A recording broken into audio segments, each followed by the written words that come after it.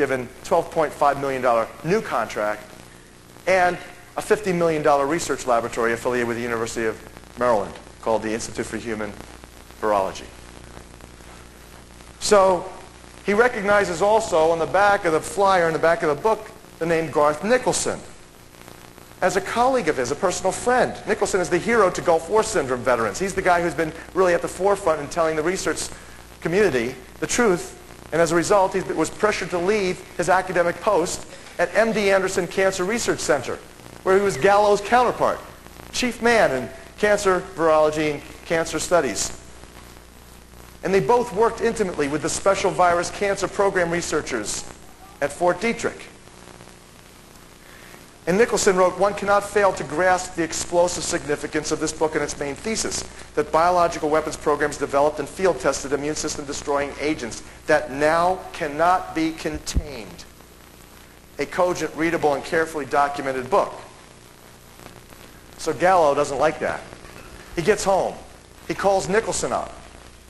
Now, I hear this secondhand from Nicolson. He says, what the heck are you giving Horowitz, this loon, a good testimonial for his book? Nicolson responds, Bob, first of all, he's no loon. He's a Harvard grad. Second of all, have you read his book? He says, no. He says, Bob, you better read his book. Here's his telephone number. So he gives him my telephone number. Three minutes later, my phone rings. I pick up the phone. This is Gallo. My first thought was, I wonder what the world's leading AIDS virologist is doing, calling somebody that needs a grade 101 level of biological science training, high school level.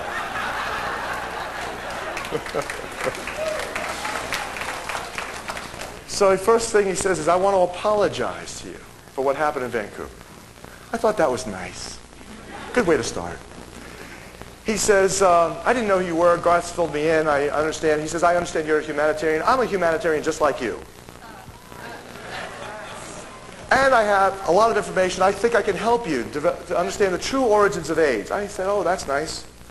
I said, I'm very uh, open to that. So he begins to talk and tells me about his family history. I've heard it a hundred times. I've read it about it. People who know Gallo have heard, heard how he got involved in medicine.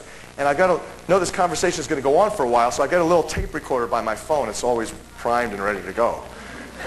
so I said, Dr. Gallo, do you mind if we record this conversation? He says, for what purpose? I say for publication purposes, of course, and I found myself in the role of an investigative reporter. So he thinks about it for a couple seconds and he says, okay. So I begin to record about another 30 minutes wherein he lays out his chief objections to my thesis. And I want you to know after studying those objections, they are completely and utterly bogus. Scientifically indefensible, and I've got the hard documents to prove that. He would be laughed out of any scientific symposium inquiry into the issue. Next is when I press him, because I know the theory is sound, I press him on it, and there's this thing about Gallo, everybody knows it, he himself admits it. He's got medical science's biggest ego. And he's always got to be one up on everyone. So when I press him on it, and I say, but Dr. Gallo, don't you think that something like this was possible? Not necessarily in your lab. He says, okay, I do not argue with you. I will not argue with you. It's possible. Then he says, but I could tell you even more plausibly how something like this could have happened by accident at that time. So isn't that nice? More news you're not reading. World leading AIDS expert says the epidemic might have been an accident. Nice. Well, at any rate, I sent them a copy of the book. I said if you can make any additions or corrections, changes to update and improve the quality or content of this work, I'd be happy to integrate it into the next edition. Moreover, if you can tell me more plausibly how the AIDS virus might have evolved, then I certainly would be interested, as I'm sure so would 30 million other HIV AIDS patients throughout the world. Well, I never heard back from him until I called him about a month ago, and I'll tell you in a minute what he said. I want you to know that virtually everything that you know about the AIDS epidemic is a complete deception. In fact, I want you to know that virtually everything you know about everything is a complete deception. It's true. And just to give you an example, to introduce this most horrifying segment where I'm going to share with you how the vaccine was developed that most plausibly delivered AIDS to the world, and who did it?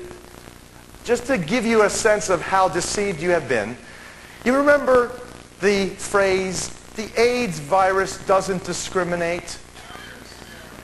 And the propaganda message is that you and I are to believe that white people get it as much as black people, that gay get it as, get it as much as straight, that rich versus poor, people all over the world, Africans, same as other countries, Europeans.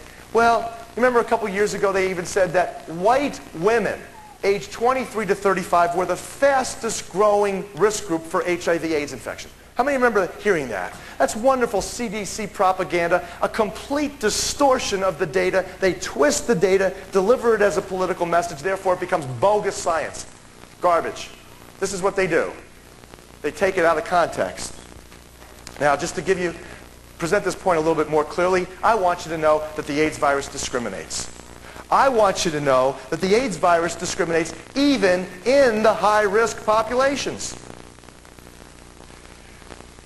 To prove my point, I'll take this from the American Journal of Public Health. This is one of thousands of studies that you can evaluate this information, the same information in.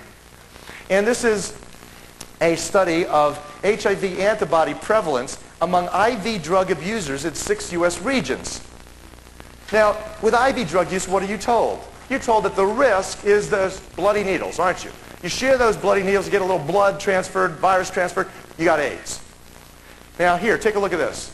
In blue is the percentage of people who share their bloody needles. In red are the people who are positive because of it, allegedly. Now, you see in San Antonio, Texas, 99% of those people who use IV drugs share their bloody works. In other words, these are the dumbest IV drug users in the country. Okay? But despite that massive ignorance, only 2% carry the AIDS virus. That's interesting. You know, same level of ignorance almost in San Francisco, where it jumps up to 10%. And you see in Baltimore, Maryland, all of a sudden it jumps up to 29%. So, you know, any epidemiologist with any remaining common sense. Now I know that in Epidemiology 101, that's one of the prerequisites. You have to give up your common sense. But anyone with any remaining common sense might think, well, maybe something strange was happening in New York. What might that be? And you see here in Denver, it drops down again. And here you have in Tampa, Florida, far smarter IV drug users, far less share their bloody needles. No. Nobody's carrying the AIDS virus there. But look in New York. The Big Apple, where you've got the smartest IV drug users in the United States. They all must have gone to Rockefeller University.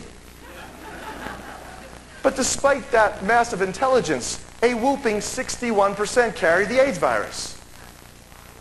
Now, anyone with any common sense would have to suggest, well, what? Something strange might have been happening in New York. What was happening in New York? And particularly what was happening in New York, let's say four, five, six, seven, eight, nine, ten years before the AIDS epidemic broke in 78 in New York City. Well, what was happening in New York? This is a United States government document. You're looking at a document from the National Cancer Institute monograph of 1974. We're in over New York City, you see what a square, that square is over also Central Africa, Uganda. And that square, according to the legend here, is liver cancer virus research. Liver cancer virus research they're studying. And you see herpes, herpes type viruses. There's a star. The stars are in northwest Uganda, which is where Litton Bionetics research labs are in collaboration with the International Association for Research in Cancer. And in southeast Uganda, another star for herpes type viruses. That's where Litton Bionetics' monkey colonies were. And you see the same star over Bethesda, Maryland, where Litton Bionetics research labs were in the United States. Herpes B viruses. By the way, how many of you remember late 70s all of a sudden you saw herpes becoming a big deal? Front page of Time and Mag Look magazine, you said, you know, herpes is a sexually transmitted disease, and who did they blame? They blamed the hippies. You know, the love generation. And then also, uh, herpes viruses, by the way, include simian cytomegalovirus, Epstein-Barr viruses, herpes B viruses, which now have been linked to sarcoma cancer development and definitively chronic fatigue immune dysfunction syndrome, which of course coincidentally came out on planet Earth in 1978 in humans the same exact year that the AIDS epidemic broke.